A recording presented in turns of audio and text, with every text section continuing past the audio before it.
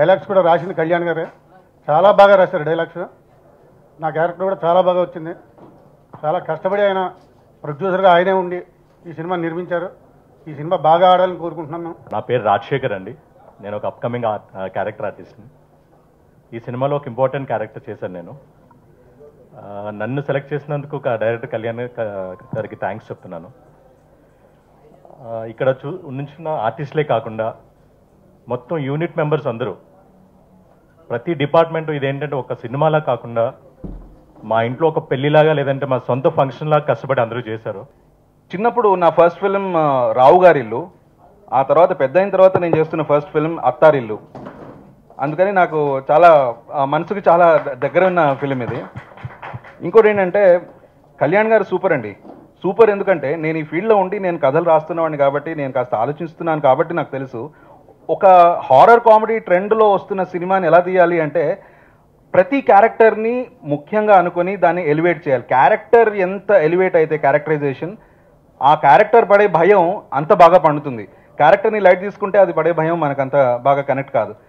ప్రతి క్యారెక్టర్ని చాలా ఇంపార్టెంట్గా అనుకుని తీసిన సినిమా ఇది. కళ్యాణ్ గారు నేను చూస్తూ వచ్చాను అబ్జర్వ్ చేస్తూ వచ్చాను. కళ్యాణ్ గారు ఆ బెడ్రూమ్లోంచి హాల్లోకి అట్లా వెళ్తూ వెళ్తూ అలా నన్ను చూసి ఓకే వెళ్ళిపోయారు. ఇదేంటి ఇలా ఓకే వెళ్ళిపోయారు మనం సెలెక్ట్ కాలేదేమోలే అనుకున్నాం. ఒక రెండు నిమిషాల తర్వాత కోఆర్డినేటర్ లోక్నాథ్ గారు వచ్చేసి రమ్మని నీ స్టోరీ చెప్తా అన్నారు. ఇదేంటి ఇప్పుడు చూశారు? అప్పుడే స్టోరీ చెప్తా అంటున్నారు. ఏంటి ఇది ఉపమా సినిమా లాగా ఉంది? మా కష్టం మళ్ళీ మనం మీడియాకి వెళ్ళిపోదాం అని అనుకున్నాం. వెళ్ళేసి అట్లా బెడ్రూమ్లోకి వెళ్ళి అదే ఇంకో రూమ్లోకి వెళ్ళిన తర్వాత నన్ను రాకేష్ని కూర్చోబెట్టి స్టోరీ చెప్పడం మొదలెట్టారు.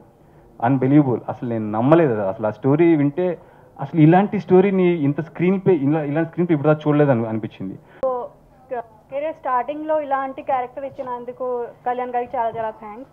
And direct direction department అందరికీ రెడ్డి గారు లోకి గారు Shravan everyone so thank you so much and coming to our department like actors Sai Uday Rakesh అందరికీ uh, చాలా చాలా థ్యాంక్స్ వంశీ గారు నందు గారు అందరికీ.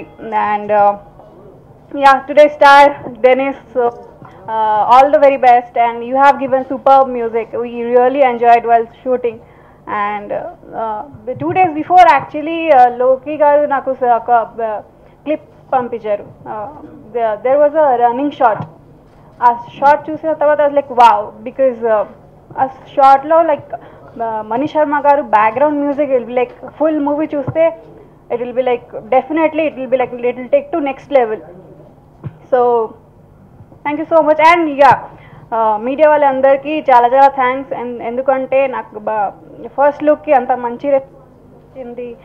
So thank you so much Kalyan అన్న గురించి he's very passionate about movies and he's supporting all technicians and artist Kalyan నాకు ఒక సెవెన్ ఎయిట్ ఇయర్స్ నుంచి తెలుసు. అన్న దగ్గర క్రియేటివ్ అండి. నేను మూవీలో చేస్తాను చేస్తానని. అది నాకు అత్తరుల ద్వారా అవకాశం లభించింది. థ్యాంక్ యూ వెరీ మచ్ అన్న నాకు ఈ మూవీలో ఆఫర్ ఇచ్చినందుకు. అండ్ ఈ మూవీకి ఫోటోగ్రఫీ శివశంకర్ వరప్రసాద్ గారు. ఎక్సలెంట్ ఫోటోగ్రఫీ చాలా బాగుంది. అండ్ ఈ మూవీ మ్యూజిక్ డెన్నిస్ గారు మూవీలో సాంగ్స్ చాలా బాగున్నాయి. నా సాంగ్ చాలా బాగుంది. ఐఎమ్ వెరీ ఇంప్రెస్డ్ అండ్ ఈ మూవీ ఆర్టిస్ట్ మా బ్యూటిఫుల్ హీరోయిన్ అతిథి గారు అండ్ రాకేష్ ఉదయ్ ఆర్జే వంశీ జోజో ఇంకా రాము గారు రాజశేఖర్ గారు వినోద్ గారు అందరు చాలా బాగా యాక్ట్ చేశారు. Thank you very much and అత్తరిల్ అనేది మం- అందరినీ కడుపుబ్బ నవ్వించే మూవీ. ఖచ్చితంగా ఈ మూవీలో కామెడీతో పాటు మా మంచి హర్రర్ యాక్షన్ లవ్ స్టోరీ ఉంటుంది. వీళ్ళందరి సహకారంతో నేను చేశానండి. శివశంకర్ ప్రసాద్ చెప్పినట్టు కూలీలాగా పనిచేసామన్నారు. కూలీలు అయితే డబ్బుల కోసం పనిచేస్తారు. అతను ఇప్పటివరకు ఒక పైస కూడా తీసుకోలేదు.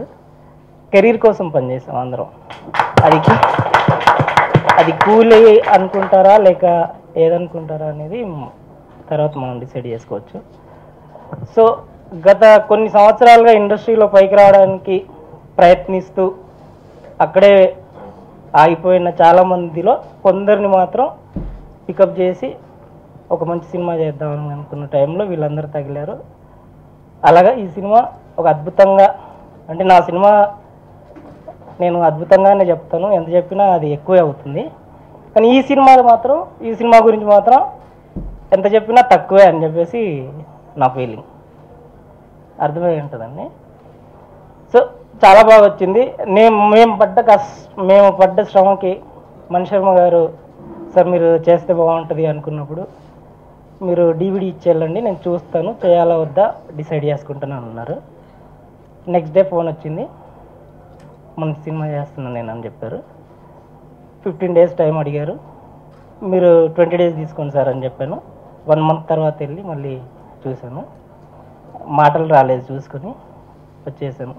ఫోన్ చేసి ధన్యవాదాలు చెప్పాను. అంతే.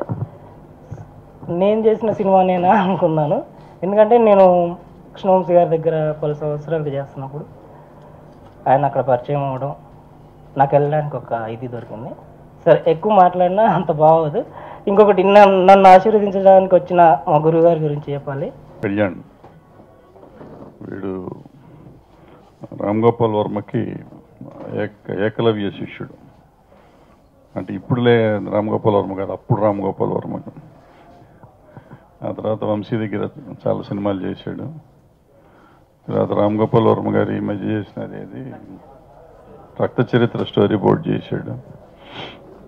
సరే నేను చరిచిత్ర చేసిన టీవీ షోస్లో చాలా షోస్కి డైరెక్ట్ చేశాడు. అప్పుడే నేను అనేవాడిని నువ్వు ఏంట్రా టీవీ సీరీ టీవీ షోస్కి కూడా రామగోపాలవరం లెవెల్లో బిల్డప్ ఇస్తున్నావు? మామూలుగా చేయరా అని తిడతా ఉండేవాడిని రోజు. అయితే ఒక కన్విక్షన్తో చేసేవాడు చేసేది ఏదైనా తను నమ్మింది చేయటం అనేది సినిమాల్లో చాలా ఇంపార్టెంట్ ఏ చిన్న పనో పెద్ద పనో నమ్మకంగా చేసేది ఎప్పుడు సక్సెస్ అవుతుంది సక్సెస్ఫుల్గానే ఉంటారు. టీవీలో ఉన్నంతకాలం ఈ వాజ్ సక్సెస్ఫుల్ డైరెక్టర్ సో ఇక్కడ కూడా సక్సెస్ఫుల్ డైరెక్టర్ అవుతాడని అవ్వాలని కోరుకుంటున్నా.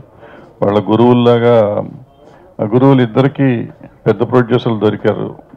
సినిమా స్టార్ట్ చేసినప్పుడు ఇవాళ తనకి ఎవరు ఉన్న ట్రై కూడా చేసి నాకు తెలిసినంత వరకు ట్రై చేసి ఉంటే నా దగ్గరికి వచ్చేవాడు కదా ఫస్ట్. ట్రై కూడా చేయకుండానే మొదలెట్టాడు సినిమా. సో తన ఇదేంటో తనే ప్రూవ్ చేసుకుని డైరెక్టర్ అవుదాం అనుకుని తన మీద తన నమ్మకంతో ఈ అత్తారీలు సినిమా చేసినందుకు అతన్ని అభినందిస్తూ